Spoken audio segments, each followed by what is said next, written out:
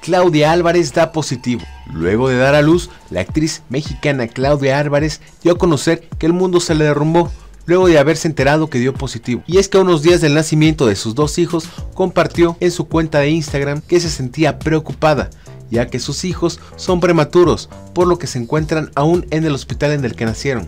Álvarez dijo también que en el transcurso de los viajes para ver a sus bebés empezó a sentir síntomas, por lo que decidió inmediatamente hacerse una prueba por lo que tristemente suspendió las visitas a sus bebés. Me fui a hacer la prueba PCR saliendo del hospital y al día siguiente me mandan la prueba.